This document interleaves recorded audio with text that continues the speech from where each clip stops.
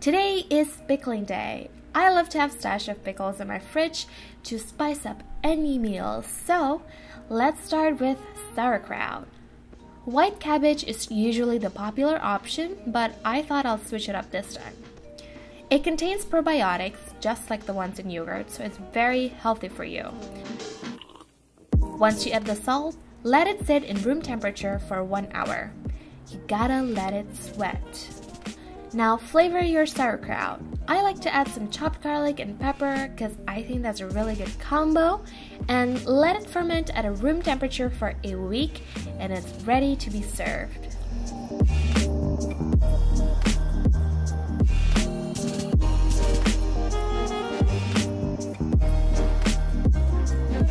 This turnip and beet pickles is going to make you addicted.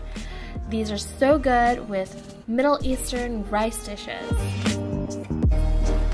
Cut your turnips and beets into thin stripes or julienne cut, or any way you want really, just have fun with it. For the pickling juice, this is what my mom told me. Always remember the ratio of 2 to 5. Every 2 tablespoons of vinegar, you need 5 tablespoons of sugar. I know it's a lot, but trust me, it's going to be very tasty. Also, add a dash of salt to the pickling juice. After 7 days, you'll get a very flavorful pink pickled turnips. Last but not least, pickled radish and carrots.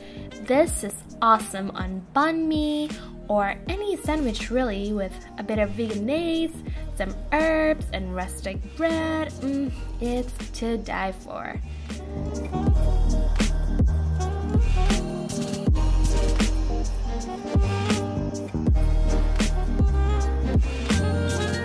That's it. Now your fridge is filled with colorful pickles for days. Thank you guys for watching and I'll see you guys in my next one.